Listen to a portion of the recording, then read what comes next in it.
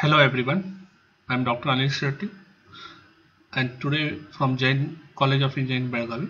So today we'll start with the fourth section session that is on additive manufacturing system. So in today's class uh, we are covering how the additive manufacturing is helpful. So you can see this is the conventional design process okay so what we do is in the x-axis it is time and cost. At y-axis it is the risk and the cost of failure.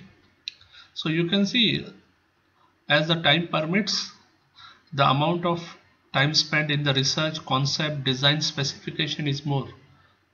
And then we start with the prototype then we test it then we do the engineering production drawings and it goes to the market. So you can see the time and cost is high also as this is more the amount of risk and failure is more in this case also. But what happens uh, with respect to the new design process that is 3d printing? Let's say an example the person Bob is a product designer. While traveling going home or during his travel he found okay I can do a simple design.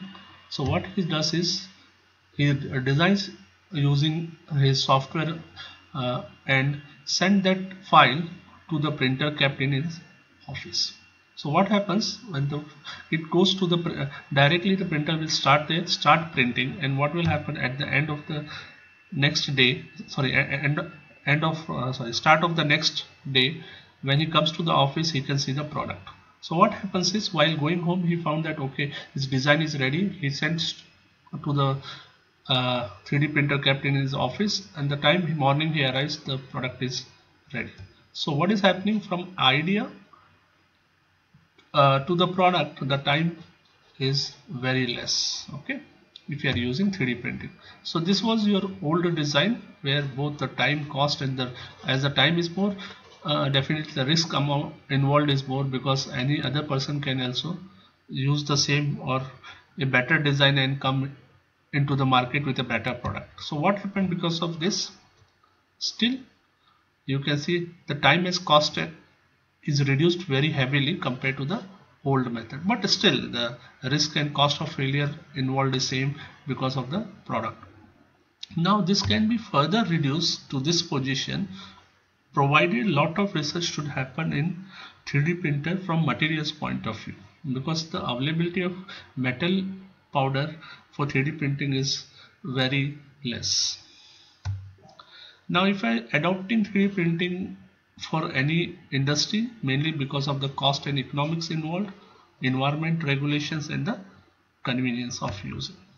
So currently if I see this pie chart so 3D printing is mainly used for prototyping and product development and innovation so roughly 50% goes here and the remaining are uh, either for improving the supply chain, increasing efficiency, some revenue generation, all other stuffs.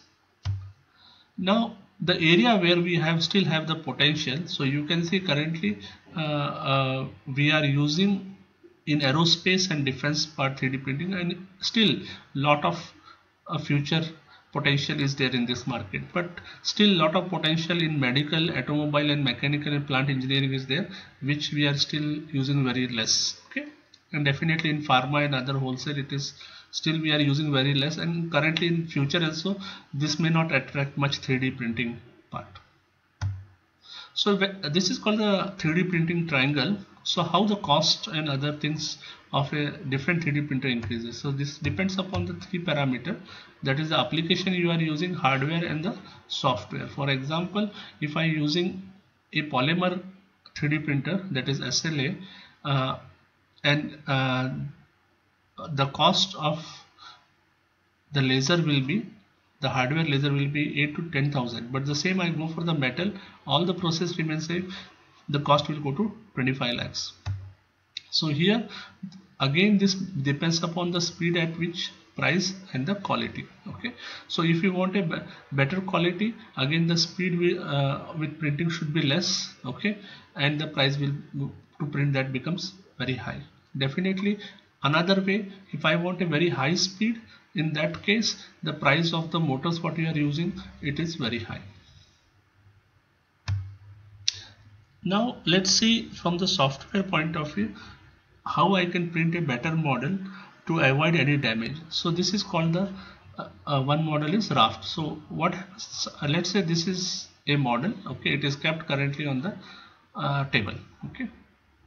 So what happens when I'm printing this one on a 3d printer this part will be stick to the 3d uh, printer base and when I'm removing this get may get damage and once this part get damaged the complete part will be rejected. To do this what I do is I'll print the actual part slightly some let's say 1 mm above. So what happens once I remove this one with a knife and other things from the base only this part will get damaged which can be grinded off.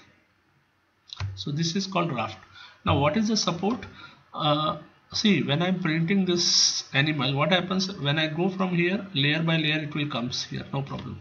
At this part no problem. The time I reaches here what will happen? Once I print everything will fall down because at down nothing is there.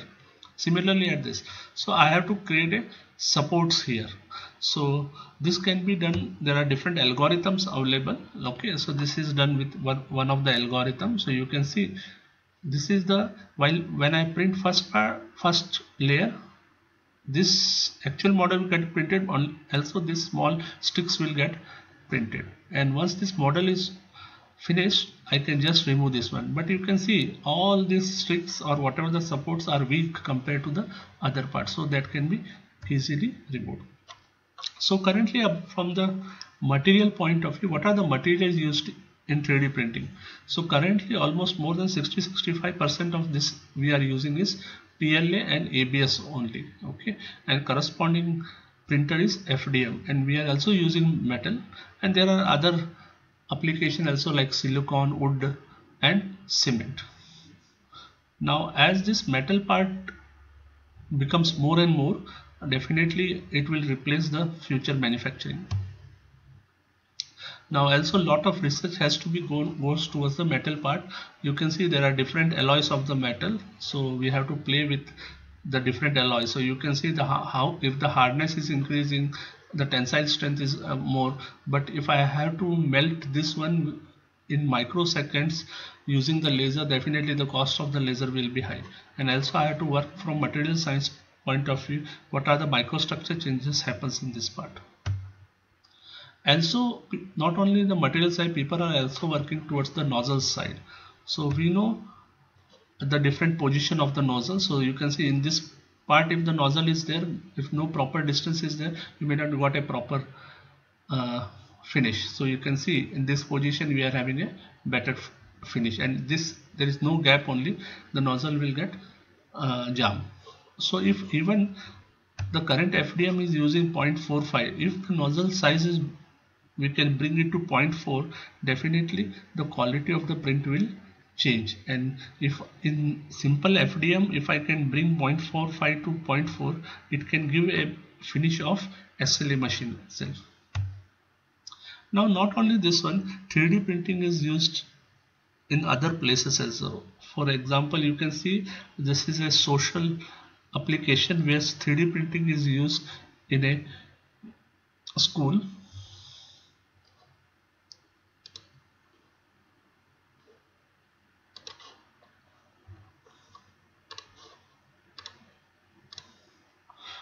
so the, this is a school for blind in somewhere in Tamil Nadu. So they have used 3d printing. So we as my first lecture says uh, a paper can give me a 2d drawing but if I give a third dimension to it uh, they can recognize very easily. So uh, we know uh, they are taught in terms of uh, Braille Lipi okay? That is the language they are using. So if I give a third parameter to it so I'll just show you.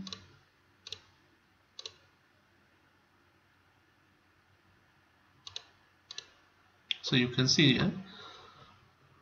So all even scientific uh, things whatever all angles and other things from physics everything can be taught very easily. So you can see the electronics part can also be taught very easily just by uh, hand okay? So just by getting a feel of the a profile we can find what is that circuit and other things. So thank you. We'll stop now. So if you have any question please contact me on the above mail or mobile number. Thank you everyone